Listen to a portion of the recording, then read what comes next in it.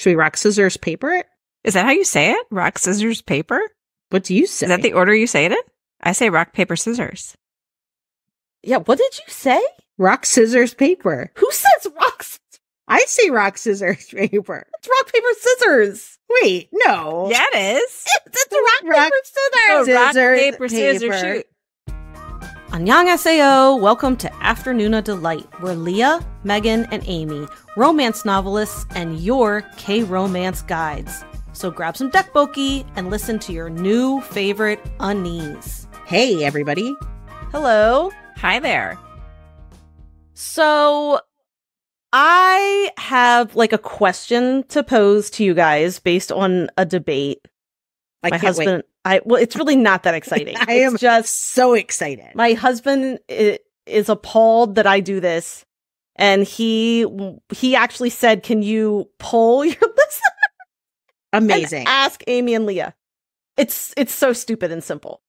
So I and I've said my husband and I are just very different people, so we just approach everything differently. But I have my phone set up that every time I get an email, I get a notification. Like it, like a notification comes through, my phone buzzes every single time I get an email. okay. And my husband thinks I am a monster. Like even spam emails, like everything. Well, I have Gmail, so no, the spam you or categorized. It's literally only the emails that come in my primary tab. okay. But like sometimes they're like a store email. You know what I mean? Mhm. They're like Yeah. a Sure. But I get a notification and my phone buzzes every time. And my husband says, I'm a monster. And I, his, he's like, I could never, he actually told me, this is the things that we debate about. This is how exciting our lives are. He's like, my life would be miserable if I set my phone up that way. So Okay. I'm curious if you guys do it. And then I really do want to hear from listeners. Like, do you know every time you get an email? No, Okay. No. I I am very anti notification though. Like, okay. So I only have notifications set for stuff that I want to be current with, like timely. Like I don't even have notifications set for our Slack. Like I just I don't check. either, I just check it. Same. Um, because I know it's always going to be going. I don't have no. I don't have noti- I don't have notifications set for any social media for my email. No, the only thing I have notifications set for, I think, are like Life 360, which is how I track my kids with the, um, you know, with the 5G that I got implanted in them. Um, I'm trying to look right now. Like, what do I get? Notif- yeah, I mean, I get notifications on virtually nothing. I mean, I will say I email's one of the I don't get notifications for it. like I don't have notifications set up for my social media or anything like that, Mhm. but I I like I see don't if know, I I'm get new weird about- emails. like I have the red, you know, I have the red circle with the number. I see if I get no, new so- but I emails. get like a banner notification so my phone can be like off. Well, not off, but you know what I'm saying. yeah, Uh, yeah. whatever it is. You must get Sleeping. them every 17 seconds. I don't really on, only because it's like only the primary emails that come through my Gmail. So maybe like that's. I mean, I get it frequently, but I like like to know. I'm very weird about my. I don't email. think you're a monster, but I just don't, I do not, I am anti notification, like in general. Like I just, I want to look at something when I need it, but I also have a job. Well, so do you, Megan. I have a job where I sit with a laptop open all day and I can see everything I need in a moment's notice. So I, yeah. I think there's a thing too. I don't have a job where I'm working with all these people who are sending me emails. Like I work, I have like, you know what I mean? Like that doesn't But I mean, happen. like, yeah, I'm talking like personal email anyway. I'm just saying, like, I, Right. I can have my Gmail open all day long, and I do, like, even Yeah. at my job. Yeah, I get notifications for texts and for tracking my kids, and that's it. so Lia, do you, I feel like you probably have n- notifications coming to your phone all the time. So I don't really know. I definitely do not get emails. I definitely Let's talk about like la- Lia with all her Wait, no. tabs open and Yeah, something wait, wait, starts wait. No, no, no, playing no, and no. she doesn't I know mean- why. I was going to say if we want to talk about monsters, I've been waiting with delight to get my chance to go. Okay. So I'm looking right now and I have three different emails open. And so these are three of probably like the six email addresses I have. For my personal email, I currently have 11,031 unread messages. Oh my god. And that's not that's not including like the extras, which are like I'm seeing like twenty seven thousand nine hundred ninety promotional Why? emails. Why don't you just delete them? Why? Oh my god, it, Lia, I How do you even have room in your G drive? This is probably why your internet's so slow because you have no room in your Google Drive. That's not why my internet's slow. It's I'm I'm- talking to my I know. uh, my work email at the university, I have. Oh goodness, let's see, one thousand seven hundred twenty five unread messages, and my writer email, I have two thousand and seventy two. So I have 20 unread messages. here is my hot take on this: I is zero. I guess I just don't care. that Lia is way more of a monster than you are, Megan. Because at least you're Oh clearing my- that inbox. Like I, I, I, I brought this up. This came up with like my my home friends a couple weeks ago because one of my friends was showing me her email no- notifications on her phone, and it had like it was like twelve thousand. And I was laughing about it, and then I showed it to my boss at work because it came up in conversation. My boss Mhm. shows me her personal email has like twenty two thousand. And she's like a very organized, like detail oriented person, but like she does not clear her inbox. That No. to me Ever. drives me bananas. Like I cannot stand when my inbox takes two pages when there has to be an arrow for me to go to the I feel page. anxiety. I have emptied my work email before down to like maybe like 20 emails when I have had time, which is very rare. I find myself quite anxious to see my my like if I open my inbox and I can like I only have a page, I'm like, ugh, I need to have like 90 pages. You need chaos. You need pure chaos. Well, see, here's the deal. My inbox is not empty. Like I have seven thousand emails in my yes, inbox. Yes, yes. but I don't like No. them unread. Like my Well, emails. but what if it's stuff? But like, okay, here's the thing: is that like I get plenty of emails that I just see from the title. Like I'm so when I'm talking about all of these, of course I miss an important email now and again, but mostly I don't. I mostly just do quick scans throughout the day to be like, T T T T T. That one's important. The rest of these, I don't fucking care. I'm good. And then I just like let them just kind of like drift away. Well, I let them drift away, but I at least un. I at least That- mark them as as read. nope. I delete, delete, delete, delete. Uh, I'm, I, I, know. delete like all day long. I, I delete. do believe delete it. a lot. I do. That's why my work one is only at seventeen hundred and not at like ninety five thousand. Is because I delete quite a bit. So we have vastly different methods. I love that all of us are different. The the the reason this well, it's come up a lot, but my husband wanted to do something on my daughter's phone and he's like I don't know, I think he was changing some like uh settings or whatever. And her phone is just going off with like notifications. She's like in little group chats with her friends and like you know, Snapchat, and it's just like going off and going off because my daughter's very social. And my husband's like, I hate this. I hate using her phone. This is miserable for me. And I'm like, well, you don't even know how to like, like, mm. my husband's like, he is a software developer. Like, his Mhm. literal job is to like build things out of code. He cannot use Instagram to like save his life. he had to ask me at one point where to find the Instagram DMs because he wanted to send. Mhm. No, I sent him something, and he's like, "Well, I don't know how to find it." And I'm like, oh my oh, God. that's so sweet and boomer. he, he's when it comes to social media He just doesn't care. He doesn't care. because he doesn't care. Right? He has no idea. There's no. Yeah, I think If he just needed, if he wanted to care, he would know everything about it. accurate, you you have him pegged. That is that is accurate. So okay, thank you for. Cl- I I, I want to hear from listeners though. I want to know if you get notifications for your email, if your phone is blowing up all day. Because my phone really isn't. I turn don't- off. it doesn't I turn off my notifications as much as possible. As well, it just depends on like what I'm doing in life. I've had them turned off for quite some time because I'm actively writing and I have like ADHD. And so if it's like I hear the ping or the thing, it's very easy for me to be like, well, clearly I don't want to write ever. Yeah. and so I'm gonna like look and see whatever squirrel red balloon came my way. Do you? Uh oh my god! I just lost my train of thought. Like block myself from sites. No. Okay, because I definitely don't do that. Um, I used to, but who's got time for that? I do. I put on so uh when I write, I put on, I have a program called Freedom. Mm. So it basically just turns off my Wi Fi.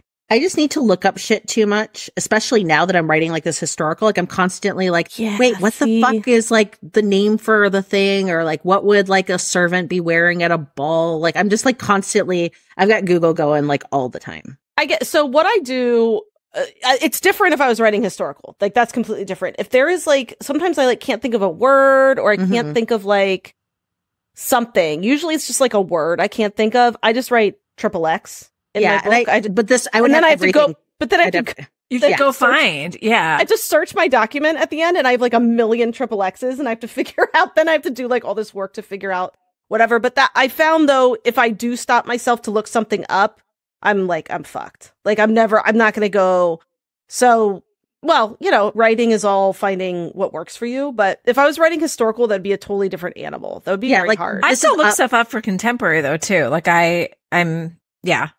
I this really is the most. This is definitely. This is more than I ever have, and I'm only in like my like first pass. Like you know what I mean. Like I'm gonna have to do more, but it's still just like I'm constantly like, oh, what would you like drink if you were at this thing? Like, what are you gonna have as like your little like whatever? right, and you're but- looking up like probably like clothing names, correct? Like Correct. yeah, All that kind of stuff. Which petticoats, whatever they're wearing at the time. I don't know. yeah, you know, Buxton. So, do you want to know? Women did not wear underwear in 1812 under their We dresses. talked about- yes, did we, we? did talk about this. I think. yeah, Yeah. which is fascinating. because we're about I'm about to do a ball, but I'm also trying to do like not make it too gross. Like I'm not gonna have like people like taking shits in the morning or anything. Like that's enough. We don't need to like get into that. But like at the balls, like you know, they have like little discreet retiring rooms because like where do you go? Pee- like think about ladies on a night out. Like you're going to the toilet. A I'm lot. going to the toilet all the time. so time. they've got like little areas with screens kind of set up discreetly between behind pots with like servants, and you're just peeing into like little chamber potties that they're emptying, and then like you're having your gossip, you're just doing it like sitting with everyone, which is funny because my parents just were visiting me. And then we'll get to the to the meat and potatoes of today's episode. But as we're talking about bathrooms, um, you know, my campus is fairly woke, and my parents have really made like a I'd say a very concerted effort to stay with the times. They don't get everything right, but they have like an overall desire that's beyond what I expected. I grew up in a fairly conservative environment, and I'd say they've done an unusual thing in getting more liberal as they've gotten older, which is unusual. Anyway, but they're still like, you know, they still get tripped up on things. And sometimes I just like to fuck with people because I'm a monster. So we were going to the dining hall and my dad was like, I have to pee really bad. And then my mom's like, I have to pee too. And then Poppy was with me and she's like, I have to pee too. and so I was like, oh, great. And I was like, well, this is perfect because we can all just go pee together. And like, they kind of looked at me. I'm like, well, how we do it here at the University of California is we have kind of just like the bathroom experience is kind of just like toilets all around the wall. And then we all just go to our toilet and we kind of just like, like look at each other. and do it in community. Make eye contact. And they're just like, haha. And I was like, dead ass serious. yeah. And then my dad's like, well, I guess I don't have to go that bad. I'm like, no, no, it's fine. It's fine. People don't really stare. Like you just kind of have your privacy, but it's just about like kind of like breaking down those barriers. And so Did you send him into the bathroom like that? I- we all went. But what's beautiful is that the bathroom is a gender neutral bathroom and it says in big letters gender neutral. But when you go in, it's, it's stalls and doors, obviously. but I was like, here we are at the gender neutral bathroom where we're all going to just be as one. And my dad was just like, what the fuck? Um, like, but That's like the other thing is that they were being game. They were like, well, okay, I guess we'll try this new thing. So God love them. And then I was you like, "You gotta go. You gotta go. yeah, you got to go. And I'm like, nobody really looks. Everyone's just doing their own thing. It's fine. It's just like we've decided that putting up like barriers between ourselves really, it's all about flattening hierarchy. Like I had like a whole Oh my thing I God. went through. You went full California on that. yeah, and they were just like, oh, I talked so much that I made them think it was true because I was Yeah. just like throwing it out. And Poppy's like, okay. Mm-hmm. Hubby's like, I'll poop in front of anybody. I don't care. I freaking love her. don't Sheila. So, oh, okay. all right. Well, speaking of um of What? Pooping? I don't know. Pooping, monsters, email. I don't know. Yeah. speaking of things We haven't had to segue in it's a long time. I'm Yeah. so close. I'm We so close with this one. I can. I don't have the brain for it, but I can like. It's just dangling. It's somewhere in my subconscious. Mm-hmm. Mm-hmm. Speaking of things that cause frustration, I mean, yeah, sure. it's not. It's not good. It's not good, but it's better than. no, it's accurate. Okay. We're back to a segment. We haven't done this in like almost a year. It has. I know. I feel bad because we really should. We There are we have the characters who ability- need this.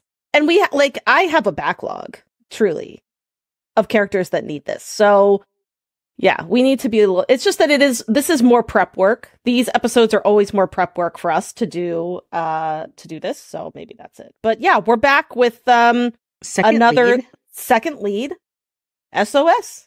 Yep. where we give, you know, our favorite and oftentimes shafted second leads um, a second chance at happily ever after by writing them their own stories.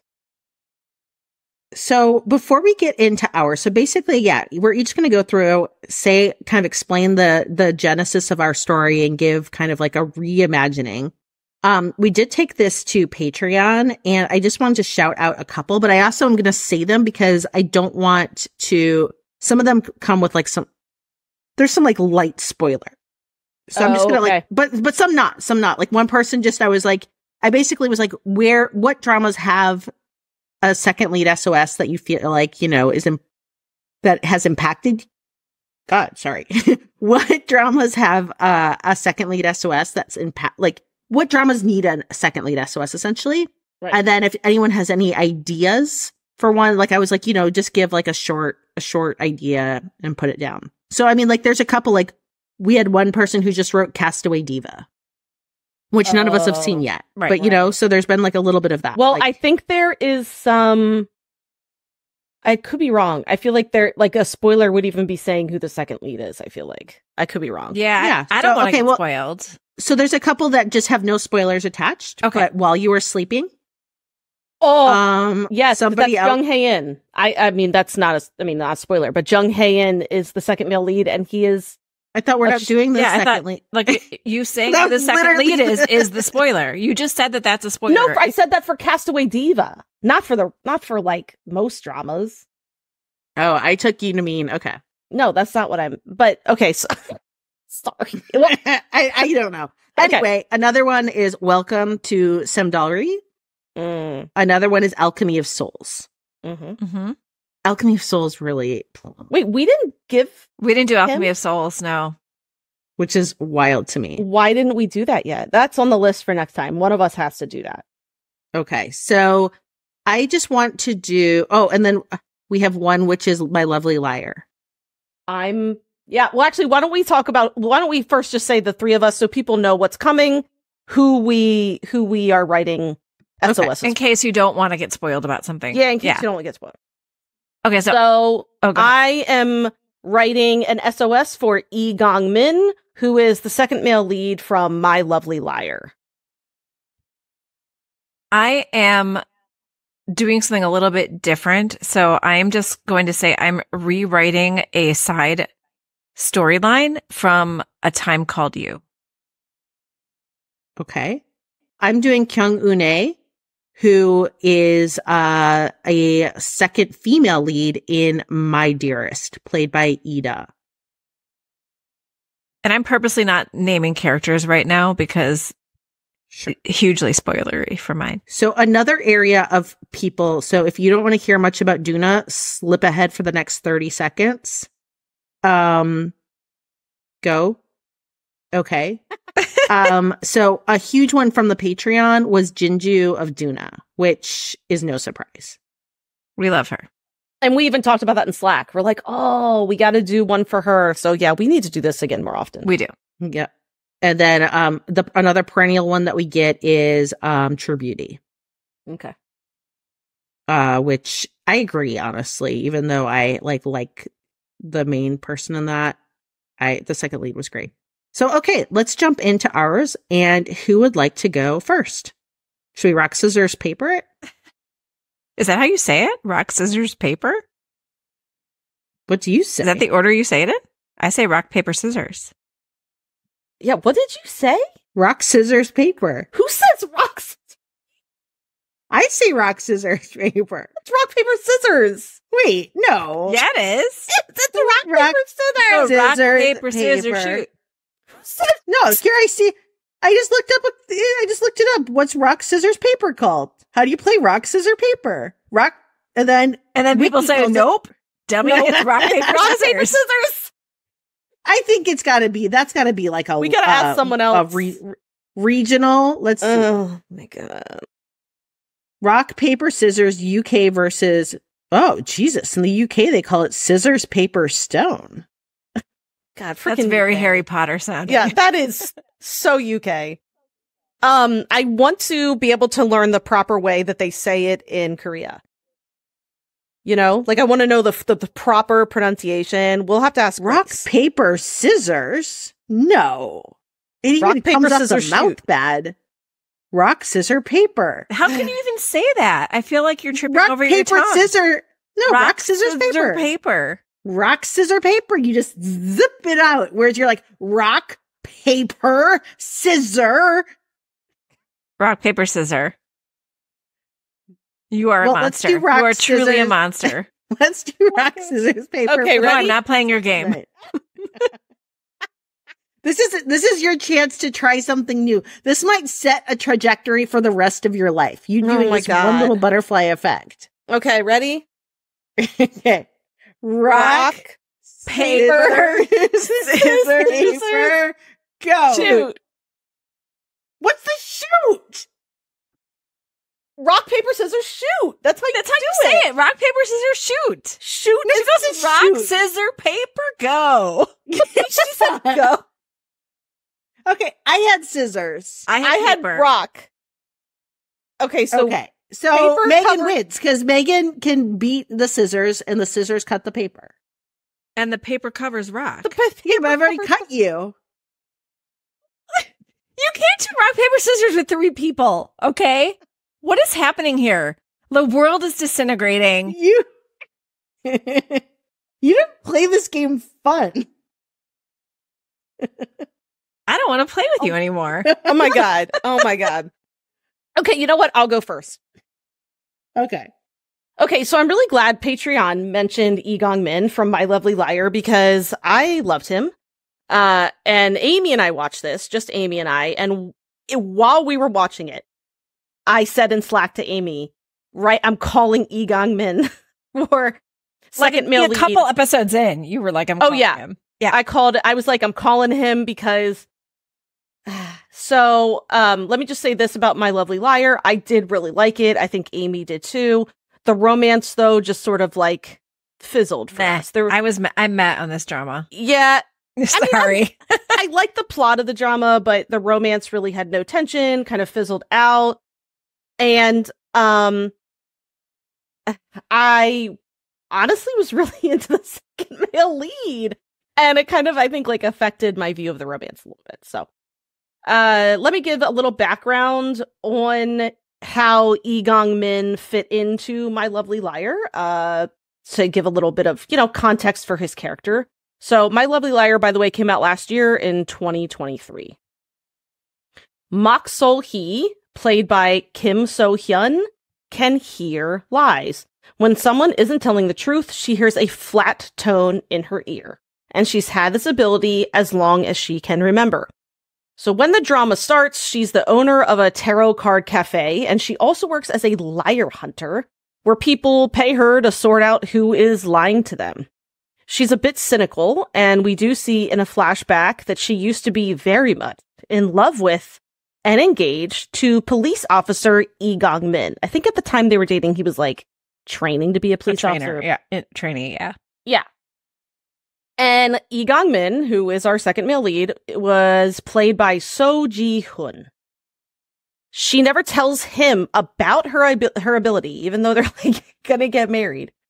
And but it's fine because he never lies to her. But when he does start lying about where he's been, uh, when they are apart, she is devastated. She thinks he's cheating on her, and she breaks up with him. So in the present, uh, she that you know this was several years ago. So in the present, she becomes involved with her neighbor, played by Min Hyun, which is who is also our favorite double sword wielding sad mage from Alchemy of Souls. What she doesn't know is that Min Hyun, uh, also known as Doha, was the prime suspect in the murder of his ex girlfriend. And although he was acquitted because of a good alibi, the suspicion has followed him so much that he's had to change his name and hides his face behind a mask. So Gang Min moves precincts, and now he works near Sol Hee. When he sees her again, it's clear he's still in love with her. And that's when we learn the real reason he lied to Sol Hee all those years ago. He had stomach cancer, and he didn't want to burden her during his treatments. And when he finds out that she's been spending time with the infamous murder suspect, he sets out to make sure that Sol Hee is not Doha's next victim. He seems pretty convinced of Doha's guilt, and I really was kind because I really liked Gang Min at the time. That this was like I was really rooting for him, not to like be the male lead, but I was really rooting for him just to have like a good storyline. And so I thought the drama was going to end up making Gangmin the bad guy, like intent on getting Doha behind bars, even if the evidence can't prove it, just because he wants Sol Hee for himself. But nope, the drama continued on, uh, you know, with the proper character, I think, of Gangmin, because he's a good guy through and through. He not only wants to protect Sol Hee, but he does want proper justice. In the end, he's instrumental in catching the right killer and he is happy that Sol Hee and Do Ha get to live out their lives happily ever after, now free of suspicion. So, all that to say, Gangmin is a good dude. He's a cancer survivor, good cop, caring friend, and he is cute. So cute. I really liked his haircut. And as I said while watching Lovely Liar with Amy, I was like, I called him right away uh, as my second male lead. And so I was pretty excited about this. Um, and so here I am to give our mostly truth telling cop his own happily ever after. Um, I just want to say I have a couple inspirations. My Lovely Liar itself, you know, there were, there was like a murder mystery. There was, you know, some, some good, yeah, some good mysteries. And I'm also currently, I'm also currently watching A Shop for Killers on Disney Plus. So like, you know, just go with where I'm going. Um and also would any of this probably actually happen in true crime? Absolutely not. Okay? This is a K-drama. So just you know, suspend your disbelief. okay? Oh, it's also kind of a little inspired by um oh my gosh, if you wish upon me. Okay, so here we go. After watching his first love and her fiance ride off into the sunset together, Gangmin throws himself into his work. One day, he participates in a raid on a drug dealer's house and chases after a woman who flees on foot. He finally tackles her and she fights him with all she has. She's dirty, skinny, has stringy hair, has stringy hair, and she smells bad. He assumes she might be have been there to buy drugs and pulls up her sleeves to see if she has track marks. He sees no marks on her skin before she yanks her sleeves down and tells him that yes, she was there to buy drugs. She's high right now, and she was, you know, just, yeah, she was just there to buy some product. Except she isn't acting like she's high. Her eyes are clear, and there is something about her that is familiar. But why would she lie about committing a crime she didn't commit? When he takes her to the station, everything about her, everything out of her mouth feels like a lie to him. He thinks about calling his old girlfriend and asking her to come to come to the station to root out this woman's lies, but something about that makes Gangmin feels like he's cheating. He wants to figure this woman out himself. In the end, he has to let her go because he, because he doesn't really have proof of a crime, but he's intent on keeping his eye on her.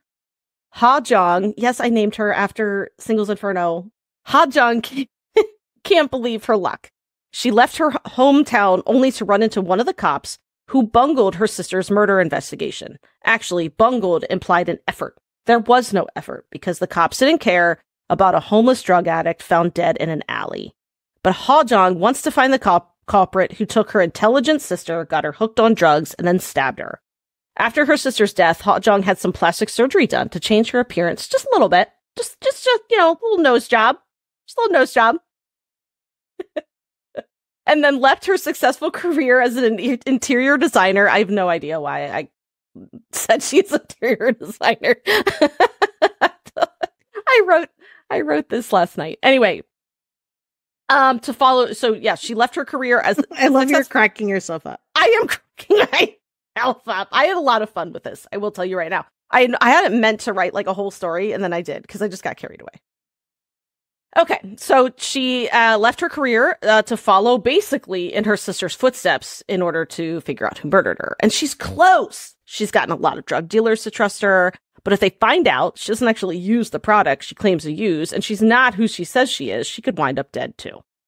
And now that stupid cop, Yi Gang Min, seems to be everywhere. She can't understand it. He didn't do a damn thing to investigate her sister's death, but now he's interested suddenly in her and if he finds out who she really is, he could mess up everything she's worked for for the last two years. Gangmin has his hands full. He has his normal police shifts. He's following Hajong around, and he's work, still working on a case that he refuses to give up. A woman who was stabbed in an alley back in his hometown. He promised her dad that he'd find her killer, he, that he'd find who killed her. And although the, her father passed away, Gangmin intends to fulfill the promise. He suspects that the woman, Hajong, or he suspects that the woman who was killed, Ha Jin, fell in love with the wrong man who then got her hooked on drugs and into camera work. This is where I totally pulled in If You Wish Upon Me, by the way, with yes, the cam girls. Cam girl stuff. Yeah, like the cam girl, like against their will. If you're a cam girl and it's like your job and your choice, like go for it. These are like non consensual cam, cam girls.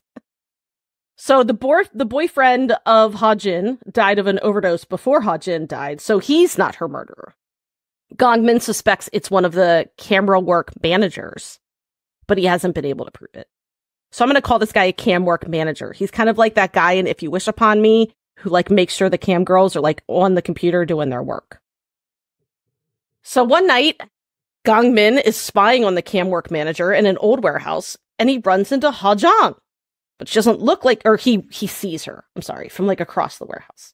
She doesn't look like she did last time he saw her. She's clean, fresh faced, and he still has that familiar feeling. And also, she's spying, just like him. When she stumbles and makes a noise, the cam manager heads in her direction to like investigate what the noise is. And Gangmin knows that he, you know, she can't get caught. So he distracts the cam manager so that Hajong can escape. And then once he's able to get away, he goes after her and confronts her. He, he knows she's not the drug addict she had pretended to be, so who is she? She refuses to tell him and takes off. So he focuses on tailing her, and when she makes a trip to the columbarium, he follows her. And that's when he finds her in front of Ha Jin's ashes, calling her unnie. It's then he res- recognizes her as Ha Jin's shit sister. She looked a little different back then, but he knows now that's her. He's confused though. Why doesn't she recognize him? And why wouldn't she ask for his help? Hajong can't seem to shake this cop, and what's worse is that he saved her from the cam manager, who she knows has violent tendencies. So now she feels indebted toward Gangmin. Why couldn't he have been a good cop for her sister? When she visits a known hangout of her sister's late boyfriend, she comes face to face with Gangmin again, and this time she's over it. She tells him to fuck off. Well, you know, it's a K drama. So she's like, get out of here. Kaja. Well, that Kaja's let's go. Um, yeah. She, t- she tells him she's going to file stalker charges, but he cuts her off and tells her that he knows who she really is. So she's shocked and agrees to eat a meal with him at a restaurant reluctantly. They eat ramen and drink beer, and she's very cold to him. She, because, you know, she blames him for bungling her sister's investigation. So she lets him know that she recognizes him too, but she doesn't trust him because of his past incompetence after her sister's murder. And she really gives it to him. And he's racked with guilt. And he doesn't feel like he really has any right to her respect because he knows that things went wrong back then. So even though he's been working on the case, you know, his investigate his department didn't investigate it properly in the first place. So he accepts her anger because that's what he believes he deserves. And he also gets down on his knees and apologizes to her. But he tells her that he doesn't think he can stop following her. He's seen one sister die and he won't see another. Ha Jong wants to remain angry at him. She spent much of her adult life blaming the police, but Gangmin's sincerity when he knelt and apologized to her reached her heart. She tosses and turns that night in bed. But the next day, she's back on her investigation. She finally tracks down another cam girl who worked with the sister, and the cam girl is confused about Ha Jong's questions. She said that a cop has visited her several times over the past few years asking about Ha Jin's life, and she's told him everything she knows. Ha Jong is surprised and wants to know who the cop is. The cam girl tells her he's a tall, handsome cop named Lee Gang Min. And Ha Jong can't believe it. In a daze, she shows up at the police station where Gangmin is behind his desk. She confronts him and yells at him in front of everyone. And he ushers her outside while the rest of the station stares at them. So she says, Have you really been investigating my sister's death? And that's when he tells her the truth that he's never forgotten her sister and that he's been working on her case all these years. And then he made a promise to her late father. He pulls a necklace out of his shirt where a ring is attached. Ha Jong recognizes it. It's her sister's ring. Gangmin told her that her father gave it to him. Hajong asks why he didn't tell her the truth over ramen. And he said he didn't feel like he deserved praise. He still hasn't been able to find her sister's murderer. And she sm- then he smiles and tells her that, you know, she smells much better now, and he appreciates her clean clothes. She rolls her eyes but feels herself smile. He asks if they can work together to pool their resources to find her sister's murderer. And although Ha Hajong is used to working alone, she thinks she can make an exception. They begin to work the case together, and during late night stakeouts, they bond over shared interests while eating convenience store kimbap and iced Americanos. Ha Jong has taken judo lessons, and she te- teaches Gang Min a few moves while he teaches her how to throw a proper punch. She knows she's starting to fall for Gang Min, but her life is a mess. She's dedicated her whole self to finding her sister's murderer. Murderer. Does she really have anything to offer Gang Min? As far as Gang Min, he has fallen for Ha Jong. She's fierce and loyal. Now that she's told him the truth, she, she doesn't lie at all. She tells him when he has a bad hair day and makes fun of his dirty police car with his fast food wrappers.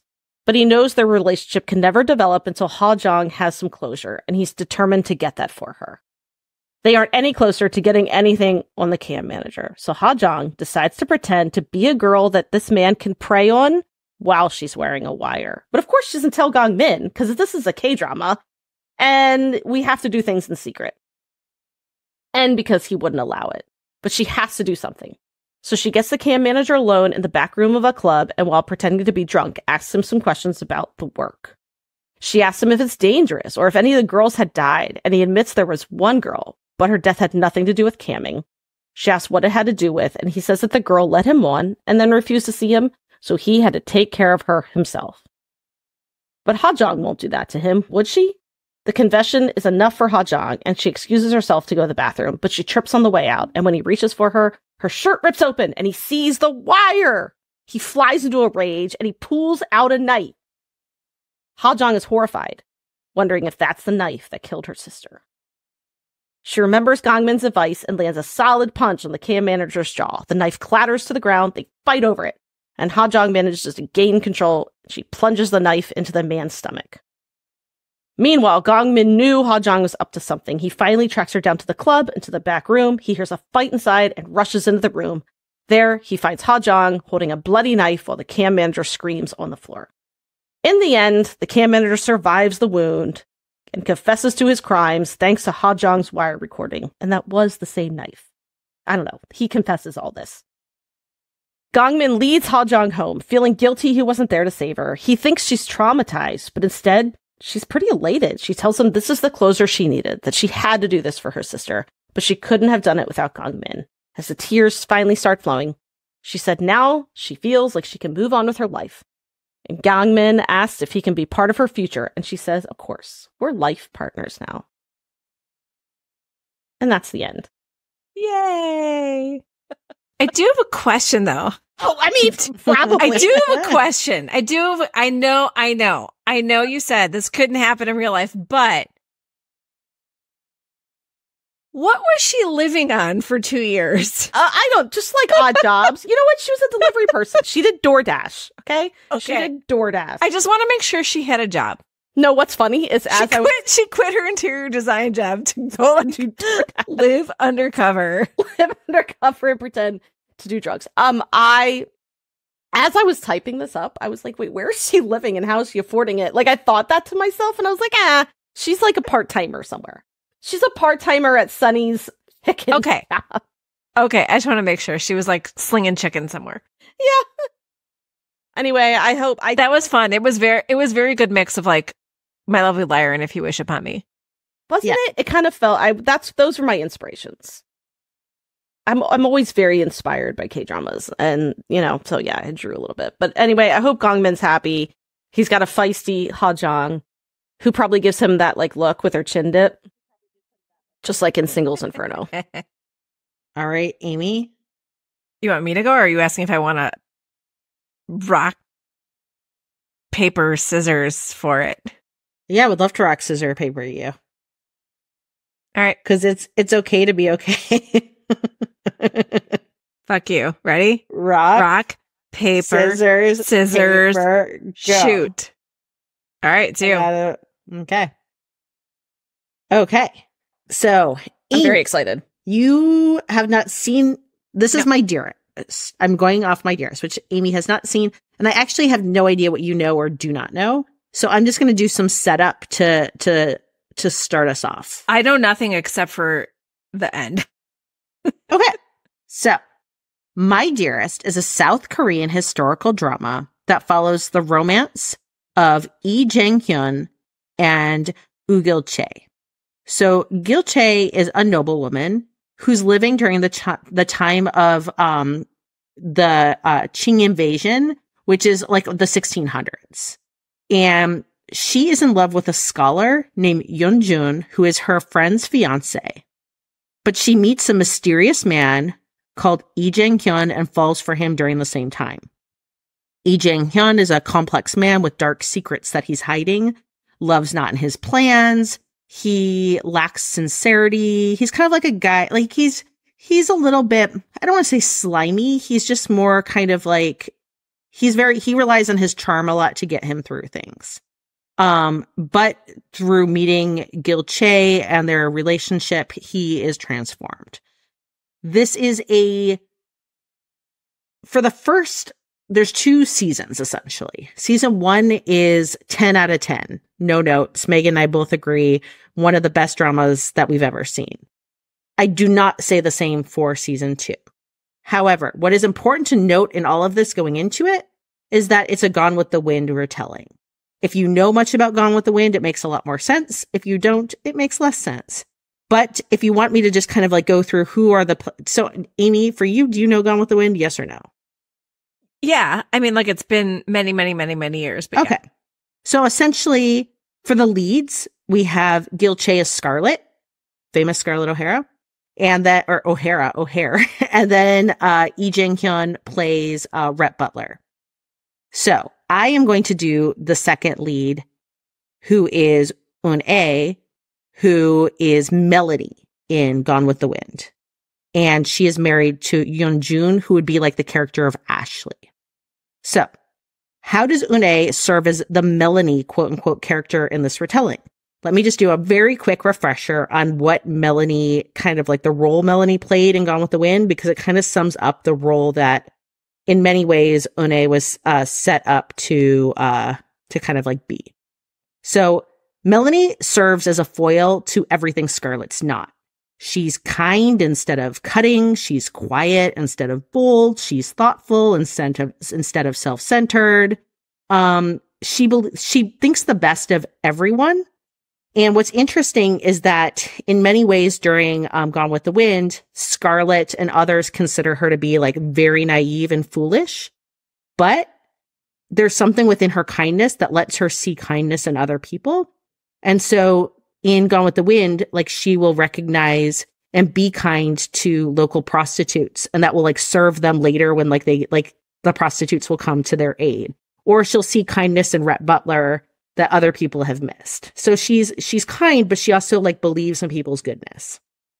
So in My Dearest, here's why we have because in some ways Eun Ae is left with an off ramp and a relationship. and it's really problematic.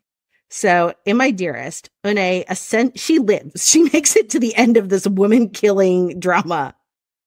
And she is essentially rewarded, and I put that in quotes, by getting back the dustiest dude to ever dust. so my girl worst. survived war. the worst. the worst. She survived war, captivity, assault, starvation, survival only to discover her ick husband, who she's estranged from, mid attempted sh- in taking his life. Like they've been estranged for a minute and she finally like goes by his house one day as he's like dangling from a noose and still alive. So they like cut him down. He's alive.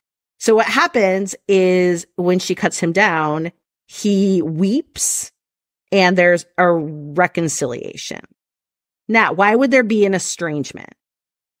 The estrangement has occurred because during some of the barbarian invasions, when Eun Ae was running for her fucking goddamn life, a barbarian touched her shoulder. Touched her bare shoulder. That's it. Because she was saved. But that's it. He That's all wanted did. he wanted to he wanted to assault her. Yeah. He wanted to assault her. Gr- He Well, did even know if not he get touched- further than touching think- her shoulder. I actually don't think he kind of like pulled down her top. he did. He, did. He He touched her bare wrist. he he was able to t- put uh, sure. ludicrous, but whatever. Her husband when he finds out about it comes from the philosophy that other men did at the time, which was better to go to the cliff, throw your dress over your head and jump off the cliff Mhm. and uh and uh preserve your honor and that will give the honor to the men because basically their wife who's been defiled is dead and the honor can continue. So he's like, So, oh yeah, And they did not jump off. Yeah, he yeah, he he was basically I'm like sorry, please do jump your- off the cliff. She does not.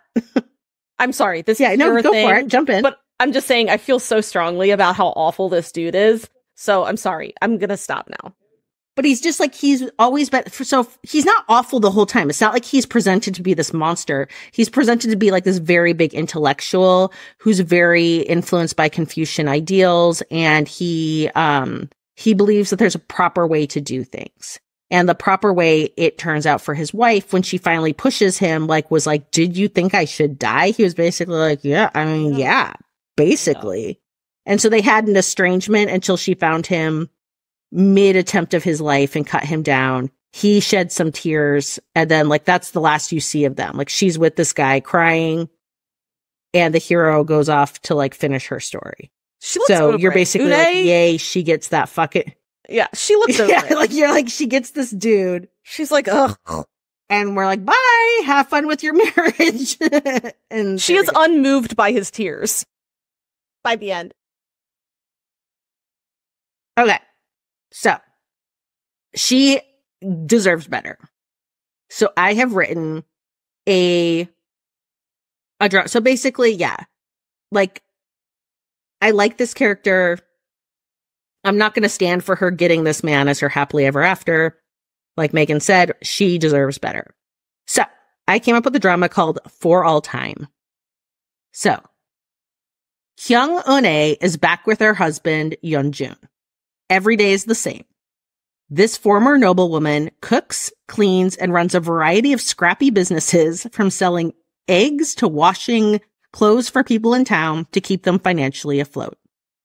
Yeonjun reads books, looks out the window, and cries. Yeonjun isn't centering her pain and trauma. No, no, no. He is full of self-pity and he wants constant reassurance from Eun Ae that she forgive him for encouraging her to choose an honorable death after a barbarian touched her shoulder once during an invasion. Eun Ae is weary and she's over the relationship. Yeonjun senses her disinterest, so hatches a brilliant idea. He wants to get her pregnant. He's decided that what she needs to be happy is having children, preferably six or seven. That way she'll be so busy and contented by fulfilling her ultimate role as a woman that she won't have any time to ponder if he sucks. He delivers this good news to Eun Ae without bothering to check in whether she wants to do this or not. The spoiler is she does not. So rather than skipping to his bed to perform her marital duty, she takes a plodding full moon stroll up to the cliffs above the river with a bottle of rice wine. Look, she isn't going to jump to her death to make a man feel better, and any man who ever thought that was a good idea isn't worth her time. She cries heartbroken because once she did love her husband and now feels like a fool. She's trapped and doesn't know how to escape. The earth trembles beneath her feet. What she didn't realize is that while she sat drinking and weeping, the moon went into an eclipse and turns an ominous red. The earthquake triggers a landslide, and she tumbles into the river far below, the current pulling her under until she's about to lose consciousness. A hand reaches down and she grabs it, getting yanked to the shore, gasping. It's a woman, Kim Soo-jin, and it's no longer the 1600s. It's the dawn of the 20th century. Joseon has fallen and Japan has annexed the country. Eun Ae has traveled through time to a disorienting new world, and so are her feelings for her rescuer, a sullen, tattooed, reticent woman who lives in a forest hideout with far too many guns. Soo-jin has three secrets. One, in this time period, she is an assassin, killing corrupt, occupying soldiers who harass women and children. Two, she's actually a time traveler. She moves between years and also worlds, never putting down roots. Third, she's attracted to both women and men, which causes issues depending on where she emerges and who touches her heart. At this point, she has resigned herself to a life alone where she needs no one and relies only on herself, her sense of justice, and the potted jade plant that was once a gift from her mother. Eun Ae knows nothing about guns or war, but she can make a house a home, even if it's an outlaw's shanty. Soon, Eun Ae settles into an odd pattern where Soo-jin leaves for the night to deliver justice, and Eun Ae embroiders sheets, tends to chicken, mends torn clothing, and makes delicious food. Soo-jin may not say much in the way of gratitude, but she begins to gruffly give small trinkets to Eun Ae. A flower she picked in the woods, a sweet from the market, a hairpin. One night, Soo-jin comes home more pale than usual. She yells at Eun Ae and asks why does she do all these things? She didn't travel through time just to keep someone's house. What does she want? Eun Ae is shaken, but what she wants, she doesn't know if she can say. She wants to be with Soo-jin forever, always by her side, but she doesn't know how to speak those words. They feel too big. As she stammers, Soo-jin shakes her and out of frustration kisses her. The kiss grows less angry and more passionate. Eun Ae was never kissed like this by her dusty scholar husband. And then Soo-jin goes limp, fainting in Eun Ae's arms. Eun Ae realizes that she's been shot and has been bleeding out through a badly wrapped bandage. Eun Ae tends to Soo-jin's wound, and she survives the night. But Soo-jin has a fever and she can't bring it down. Weekly, Soo-jin tells her that the next night, in this world, there'll be an eclipse. Eun Ae needs to bring her to the river so they can leave this time and get help. Eun Ae complies, and while bringing Soo-jin to the river, encounters a bandit. Eun Ae doesn't hesitate to use Soo-jin's pistol and realizes she's a natural shot. The man collapses, and Soo-jin grabs Eun Ae's hand as they tumbled into the river, only to emerge in modern Seoul. Here, Soo-jin has an apartment with uh, has an apartment in Hanam with piles of money stashed away. She can also use a strange device that can talk to people. A friend arrives who's a doctor and has antibiotics. The friend praises Eun Ae for her medical treatment and says she probably saved Soo-jin's life. Eun Ae learns that Soo-jin has safe houses in different times and worlds and has been on a single mission to find her mother who was taken by a gumiho when Soo-jin was a girl. All that was left of the mother was the jade plant that Soo-jin treasures. She doesn't know where the spirit is hiding her mother. She hunts clues and sometimes she gets close. Her fear is that the Gumiho is her father, which is why she has the magical powers of travel, slow aging, and a sixth sense that can detect hints to his presence even as he evades her. But this is not Eun Ae's fight. Eun Ae deserves a simple life with her simple skills making a simple man happy. Eun Ae bristles. Soo-jin doesn't get to tell Eun Ae what she wants or gets to have. She's done with that life. She's ready to step into her power and stand by Soo-jin's side. Soo-jin tries to make her leave, but Eun Ae isn't afraid anymore. She knows what she wants, Soo-jin, and she'll want her in any time for all time, and she'll help her find her mother. Dum dum dum.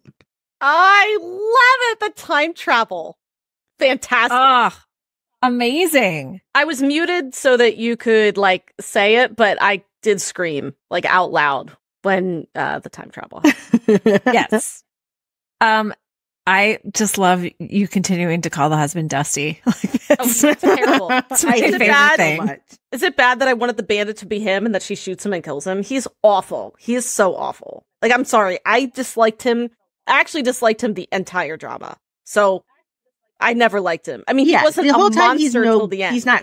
No, but That was a fantastic SOS. I don't even know the drama and I don't care. That was that was so much fun to listen to. that was great. all right, good. Well, that was my first uh girl love drama. Let's see some more of those happen. I love it. I love it. I would watch that. and you're just like deep in the time travel mindset right now.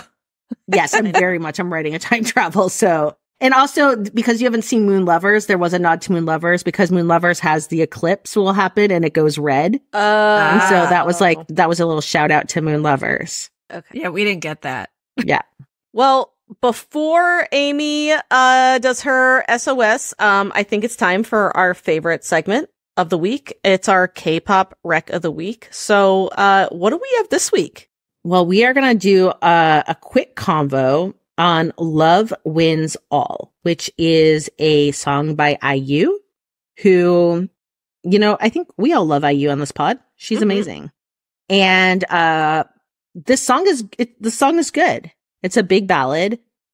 It has a music video that also features V or Kim Tae Hyung from BTS. And we've all seen it we are actually going to do a like a snack deep dive on it with uh, the podcast Afternoona Army, our BTS spin-off podcast. So check that out in, you know, probably another week or another week or so. But for everyone here, this is an amazing honestly, I feel like this music video gripped me in a way that most TV content hasn't gripped me Yeah. in a long time. In Uh, fi- yeah. five minutes, I went through every emotion. Mhm. And And I'll be like, honest, so you- Usually, Oh, go ahead. no, I was gonna, I was gonna say like usually like, usually when you guys like post, you know, like K-pop stuff, like in um in our Slack stuff, I'll watch the video and it's enjoyable and that's great and good song, yay, we're done. Mhm. So Lia, Lia didn't even post a link. She made us go look for it. Lia Yeah, pops anyway. into Slack. She's like, she's like, you need to go listen to this song, watch the video with V, like with V. It's, you know, it's basically, it's, a, it's a movie and a video. And I'm like, all right, I gotta go look. It's, it's, it's V. Um, and I was crying at the end of the five minutes. Like It's a I've whole. never been moved by a music video like that before. Ever.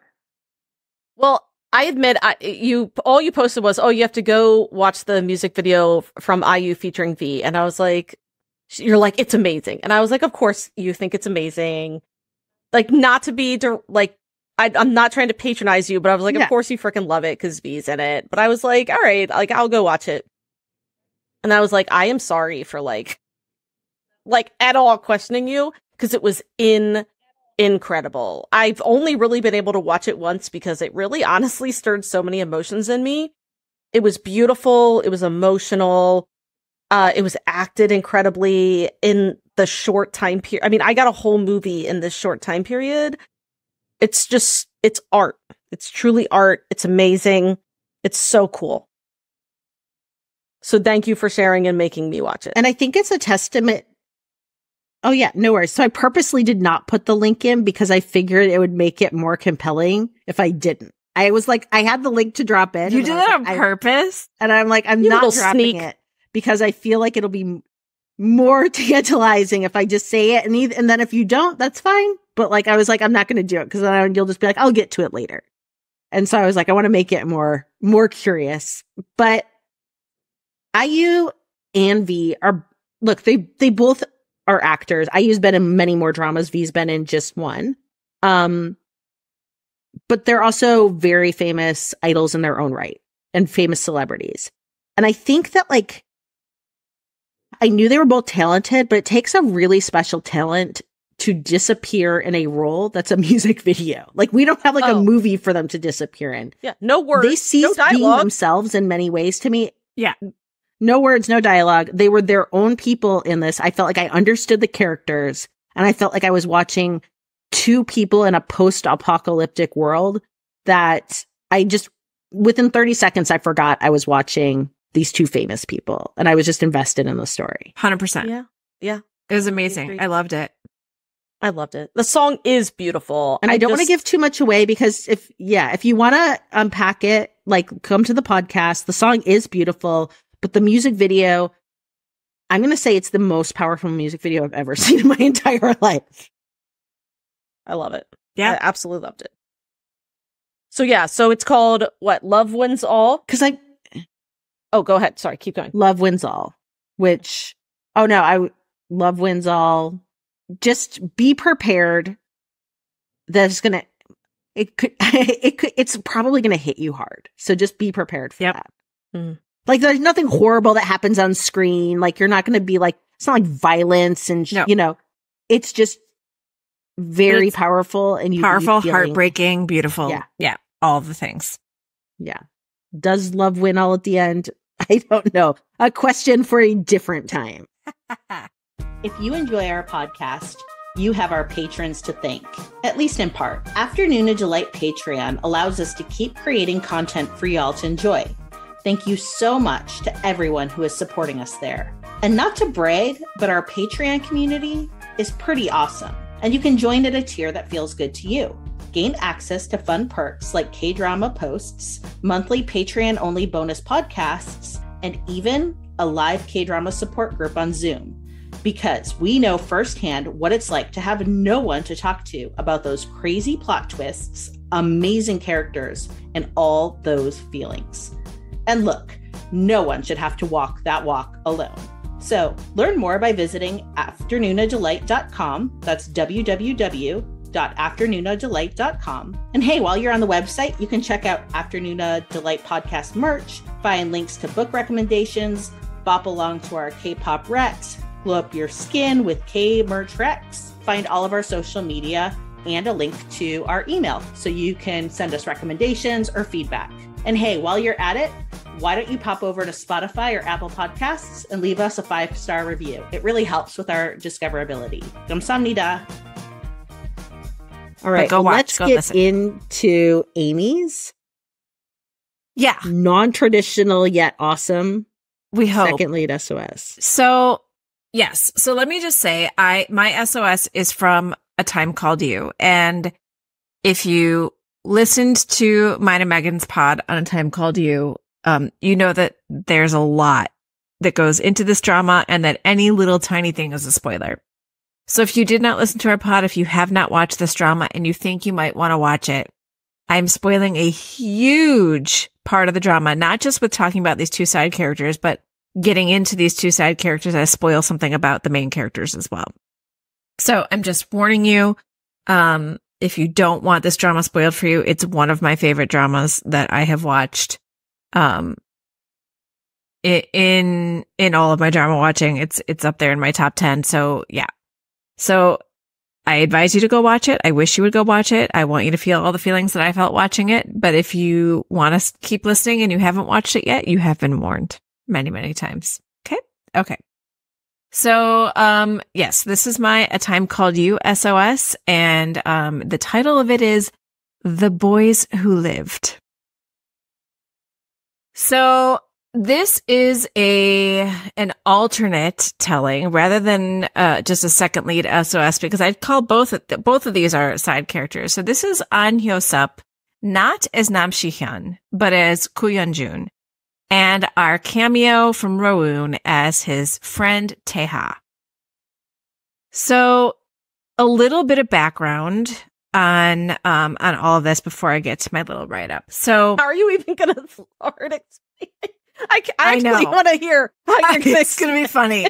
It's gonna be funny because not only am I not only am I giving away stuff about characters, I'm giving away a huge conceit for the drama, which is that it's not just a time travel drama, but it's also a, a it's not even a body swap; it's a body inhabitation. Um. Okay. So let's just start by saying that I loved A Time Called You, and I in no way want to change the happily for now that our principal characters get. So let's just say that what I'm proposing takes place with somehow, like by somehow not changing the outcome of the original drama, even though logically this could never work within the time travel rules of the drama. Okay. Like I'm not here to do a physics assignment. So just suspend your disbelief. Okay. Megan's character didn't have a job and she lived for two years that way.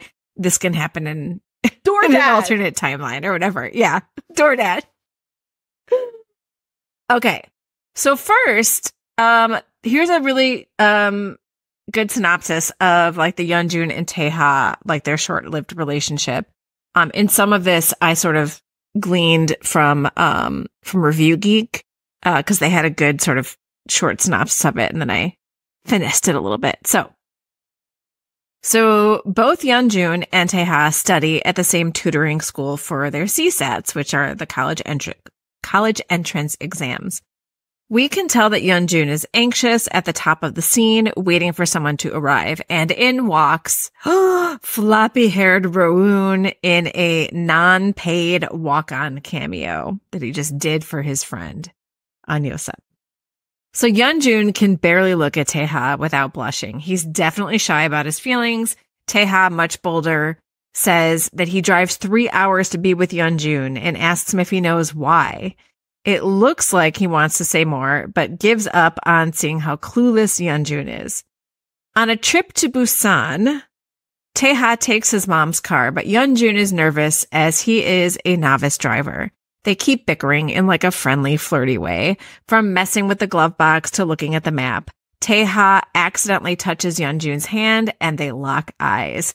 They hold hands and smile, but at that moment, their car crashes into a truck. From here, Taeha dies. And Yeonjun goes into a coma only to awake with Shi- with Shihyun in his body.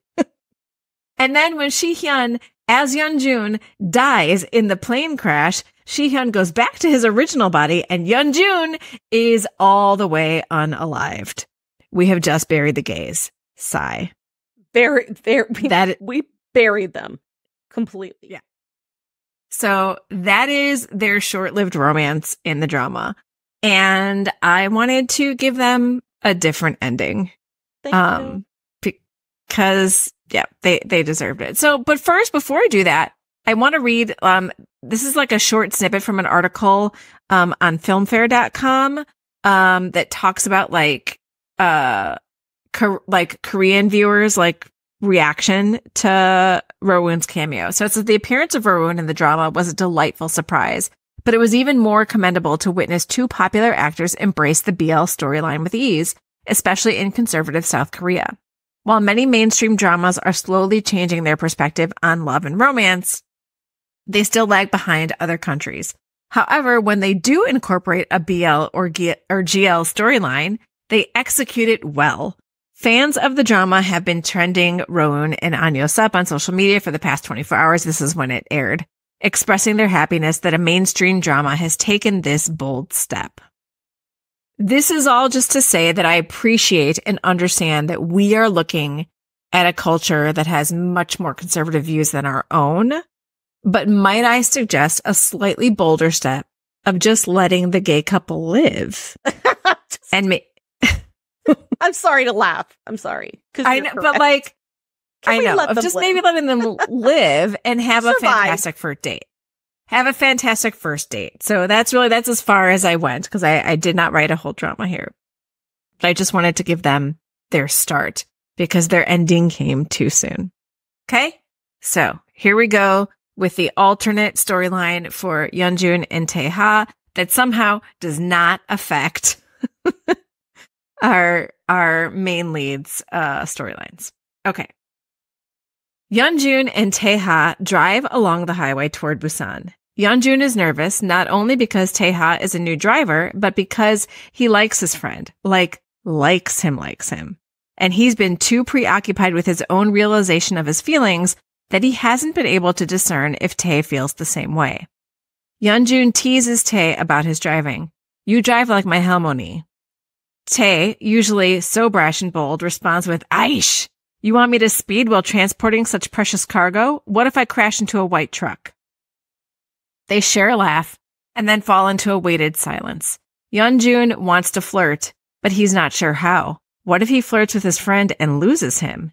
Taeha as a friend is better than no Taeha at all, right? So when Tae mumbles something at the GPS, Yeonjun uses it uses it as an in. Are we lost, Halmoni? He asks. He's gifted with another Aish, but Tae is smiling. He lets go of the wheel and he lets go of the wheel with his right hand and backhands Yeonjun on the shoulder. When his hand falls, it doesn't go back to the wheel, but instead onto Yeonjun's hand that is resting on Yeonjun's own thigh. Yeonjun sucks in a sharp breath, but he also has no words. Just then, the truck in front of them swerves into their lane, but even one-handed Tae is able to honk and avoid a collision, calling out a string of expletives at the careless truck driver as they pass. Do you still think I drive like a Halmoni? Taeha asks, squeezing Yeonjun's hand. Ani, Yeonjun replies. Do you know why I drive from Busan for our tutoring sessions? Tae asks with another squeeze. They, Yeonjun replies, his cheeks warm and a goofy smile on his face. Open the glove box and get us a treat, Tae tells him, and Yeonjun opens the compartment to find it loaded with sleeves and sleeves of Kopiko. I have I have a, a prop tonight. Um somehow with one hand he pops a coffee flavored square out of the foil for each of them, popping one into his own mouth and the other into Tae's, his finger brushing his companion's soft lips. They drive the rest of the way like that, hand in hand in a comfortable, delicious silence, save for the few occasions when Taeha needs both hands on the wheel. Yeonjun must fall, must fall asleep because suddenly he hears Taeha say, we're here, the special place I wanted to bring you. Yeonjun opens his eyes to find Taeha leaning over the center console, their fingers still entwined. They are in Busan at Songdo Beach. Taeha asks Yeonjun if he's afraid of heights, and Yeonjun tells him no because it was not actually him in that other timeline that crashed to a fiery death in an airplane. They line up to board a cable car for Songdo's sky cruise across the ocean. Yeonjun has heard of this cruise, but he's never been. He knows they will be crowded into a metal box with at least five or six other people, which dampens his spirits. Maybe Taeha doesn't want anything more than to secretly hold hands in a car, but how will Yeonjun ever know? When it's their turn to board, Taeha whispers something into the ticket attendant's ear, and then he and Yeonjun board their cable car. Yeonjun is shocked when the attendant closes the cable car door with only Yeonjun and Taeha inside. Gamawayo Hyung, Tae calls with an ear with an ear to ear grin. Was that your brother? Yeonjun asks, surprised. Yes, Tae exclaims. We have a middle brother too, but we have a middle brother too between us, but I am Hyung's favorite. I told him I wanted to take my first love on a sky cruise so I could confess. They jerk forward and Taeha falls against the window while a still stunned Yeonjun falls against Taeha. He is tall and his chest is firm and warm. Yeonjun can feel Tae's heart rapidly beating against his own chest, the only indication that Taeha might even be a fraction of a bit as nervous as Yeonjun is. Yeonjun clears his throat.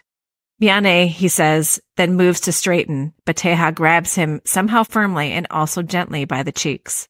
Did you hear what I said? He asks Yeonjun about my first love. Yeonjun can barely breathe, not with Tae's skin on his, a struck match lighting a fuse.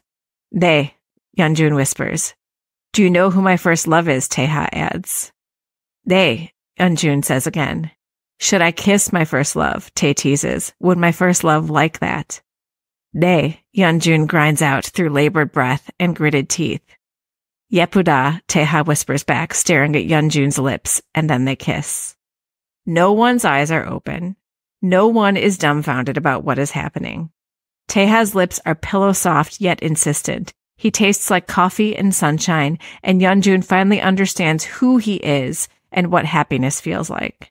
Both of them know that the cable car ride is only 20 minutes long, and they aren't wasting a second of it. They have a full lifetime, one where they get to live to old age together with no untimely truck crashes to figure the rest out. And possibly another 20 minutes, because of course, Taeha bought a round trip ticket after all. I love it. I love it so much. That was so sweet and romantic.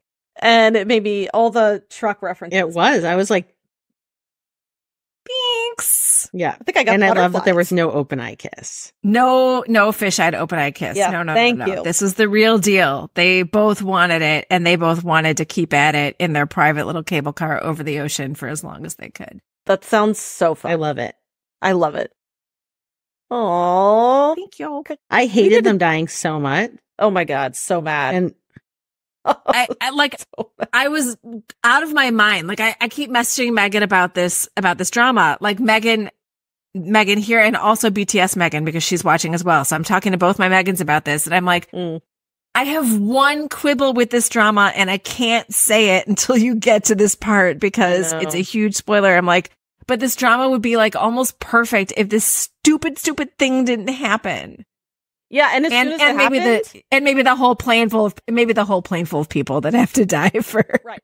that was yeah. my quibble. But this was my quibble too. But as soon as it happened, I was like, "This is Amy's quibble." I knew it. I knew it because I just Yeah. yeah. I knew it. Yeah, my I had so I my quibble was the whole plane of people dying and no one just gave them a heads up. And then this was my second quibble.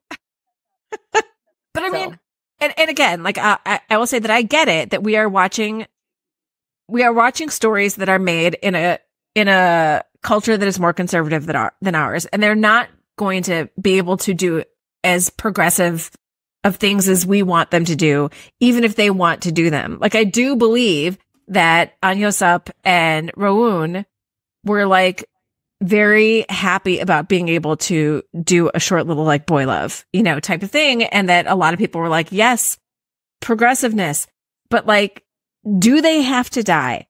And I say no. Look, no, it was they not definitely did not have to die. it was not long ago that American TV w- well to be honest, they're still doing it, but I remember when the I, I remember it was a really big deal. Did you guys ever watch The 100? I didn't watch it, but I remember they they killed someone on The 100 and that's when like a million articles kept coming out about we need to stop burning the gates, like stop it.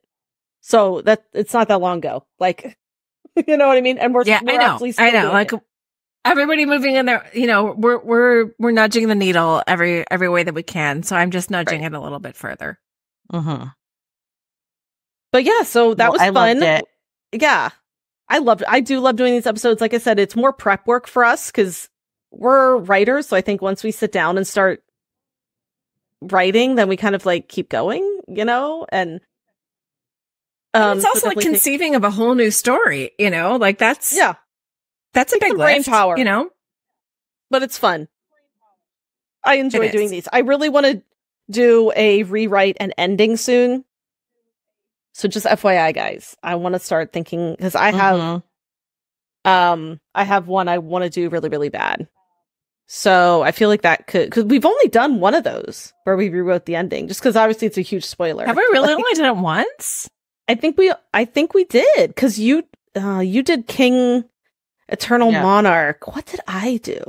I don't remember what I did, I don't remember what I did, but I think but we I have almost. a lot of podcasts. We I know that's why We do. if you look back through, It's been three years, you guys. This is like, this is like happy three year anniversary. I think January 20th was our first one last year. I mean, like I our first was. one in 20. yeah, you're right. 21.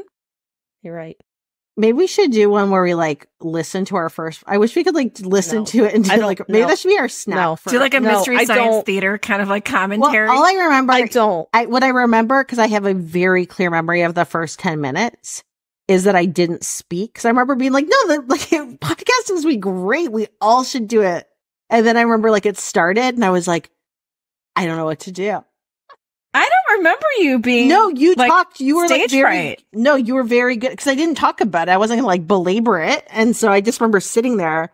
And if you go back and listen to it, I, I mean, I what I have in my memory. I'm curious if it holds up. Is that I do not talk for some time.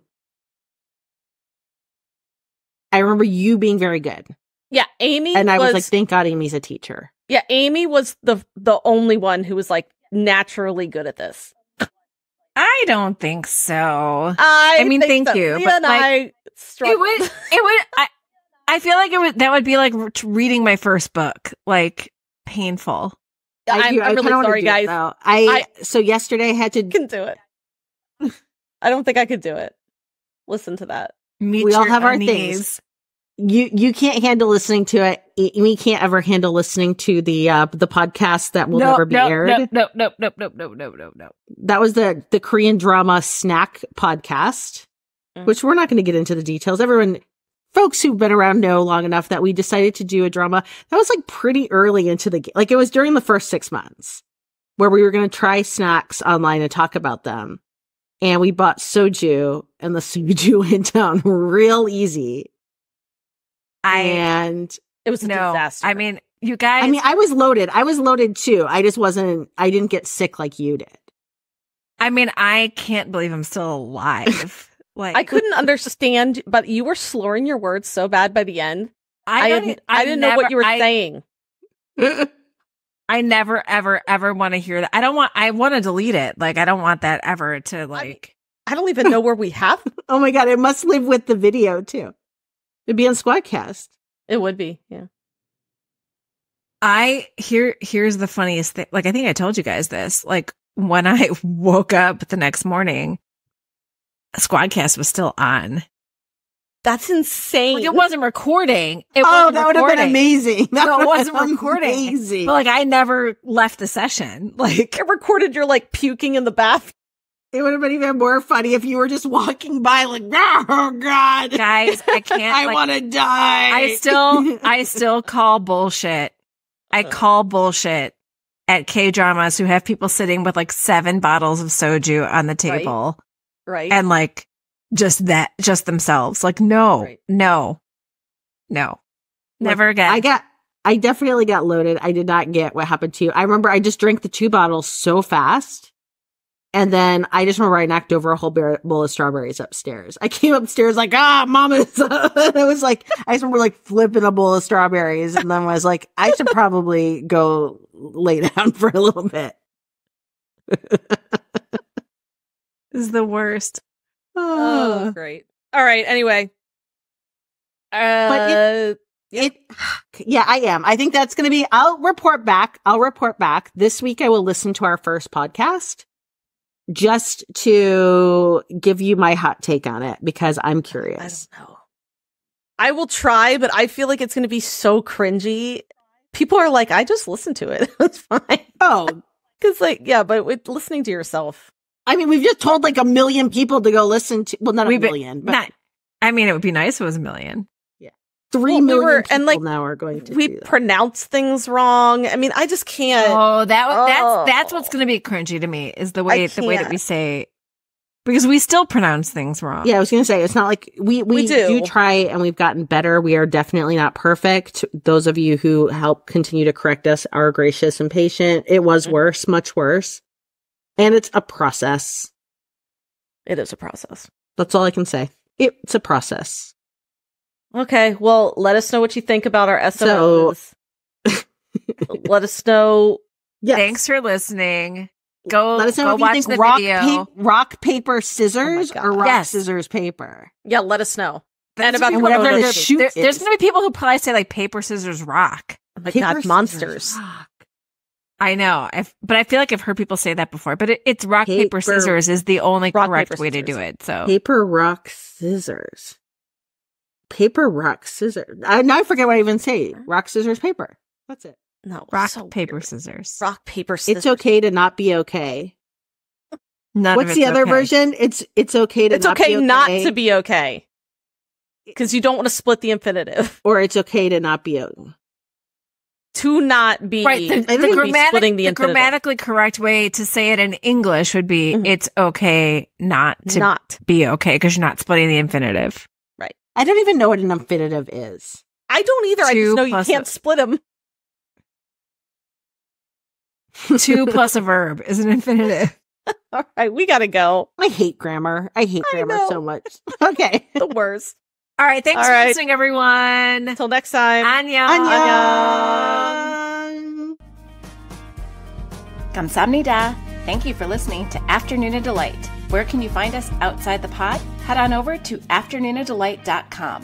That's A F T E R N O O N A D E L I G H T You'll find links to all our social media, our book recs, K-pop and K-skincare recs, and if you want even more Afternoona Delight, because really who doesn't, you can join our Patreon, where you can choose the patron level that's right for you.